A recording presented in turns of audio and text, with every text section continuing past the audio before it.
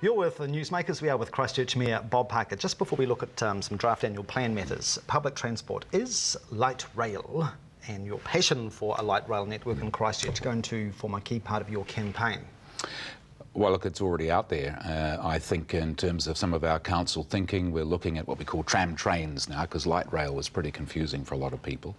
Uh, but I, I am very strongly of the view that we need to begin planning for a uh, rail-based street-level public transport system in addition to our buses in Christchurch. Mm.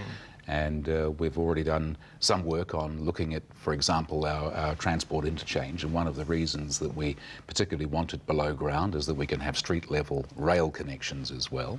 And if you think about its location and where those rails could, could come off of uh, around Lincoln Road and so on, yeah. So it is part of my campaign, I guess, just because uh, it's not something new, it's something that I've long advocated for. And, and I will really continue to advocate for it. Is full control of public transport mm. uh, fundamental mm -hmm. to delivering a light rail network? Uh, well, I think it will be part of that. I mean, there's got to be a better way to run public transport than we're currently doing. We've got it spread across two local government organisations. So my view is there should be one organisation that controls public transport. Now, it doesn't necessarily have to be the City Council or Environment Canterbury. It could be a separate authority that would actually be handling public transport in the city. Okay. But we do need to bring it together. We do need to integrate it. It's costing us us extra money having two organisations. I'm not happy with the way yeah. that buses are being funded, and uh, so certainly it's something I would like to see some change around. If the City Council had full control, just very quickly, do you agree with the theory that you would have to sell Red Bus?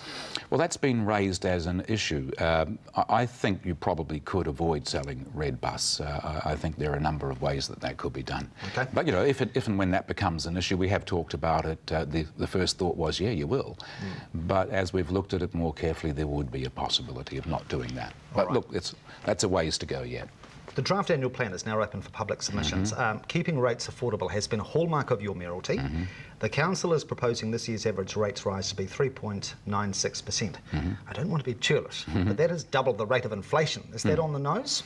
Well, when you think of the way that, yeah, I mean, if I'd done 10%, and you would have said, well, you know, 5% will be good. The fact is that we hit it at 4%, and originally I said, well, I want to try to get the rates that that would never crest 5%. Yeah. With the recession, we managed to get them down to below 4 and that's our average rate increase for the next 10 years. It would ni be nice to be just at inflation, but the reality of uh, life is that the inflation level that you and I measure at home mm -hmm. has got very little to do with the inflation impacts that hit the sort of stuff that we do as a council. Okay. So, you know, Weet-Bix, cornflakes, aspirin, uh, and, and loo paper, they're part of the CPI, but council doesn't buy as much of those things. It does tend to buy a lot of oil-based products, concrete, reinforcing pipes, a lot of heavy-duty industrial building materials. Their uh, rate of inflation is higher. Parking meter charges are not being touched this year. Mm. Why not? Uh, I, I, guess it's to do with the fact that when you we've got a policy in place that tends to increase those at an inflation rate, uh -huh. and because of the coinage in New Zealand, there are some years where you just grin and bear and you take a lesser income rather than have a larger increase. So well, I think it's connected to that, frankly. Oh, I well, I read in the annual plan, the draft mm. annual plan, Quote, because of economic conditions, the council is not proposing a change to parking fees. Mm.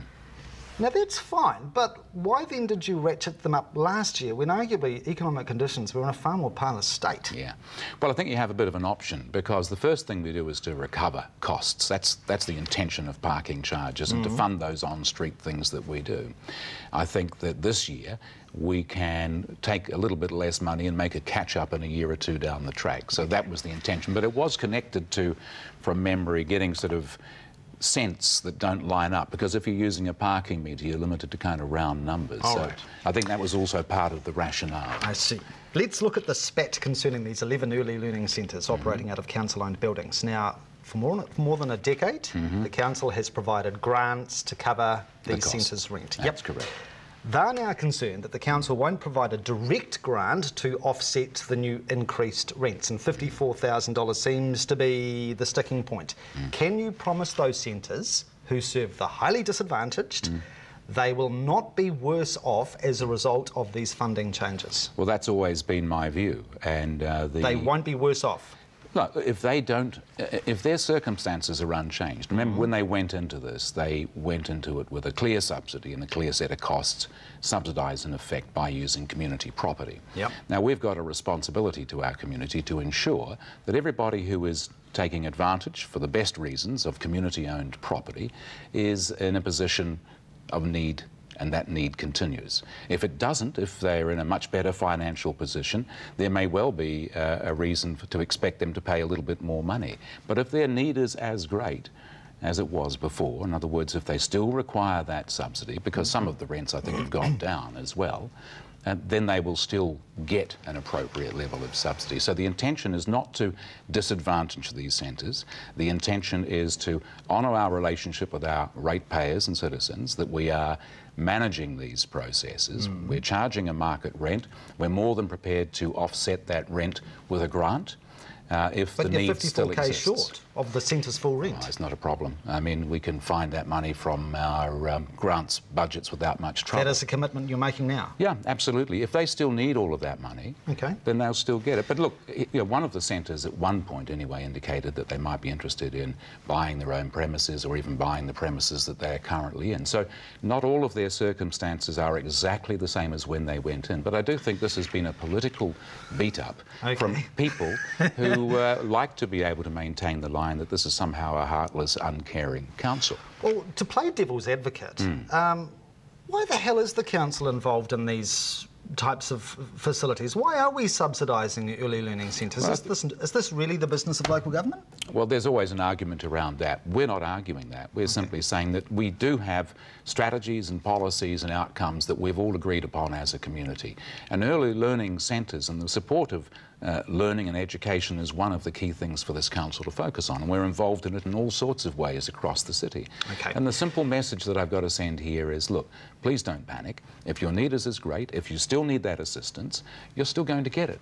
That is a commitment. The 54k is Well, a I'm. I, I, you know, I'm. The 54k may or may not be needed. There may be more needed. I think that's a problem for the council. but they will the not day. be worse off. That is my That is view. your commitment. That is my view, unless they've got a situation where someone has a pile of cash in the bank and they're not doing anything with that. All right. But it's not going to be, oh, you've got money in the bank, we don't give you anything. it's like, you know, what are your plans? What are your processes? What support do you need? Your rent will go up a bit. Are you able to afford that? If you can't, fine, we'll put the grant back in. But we want to manage the process. We will run through a few other issues shortly, Sure. including Edgeware, Ellerslie, and other matters. Do stay with us.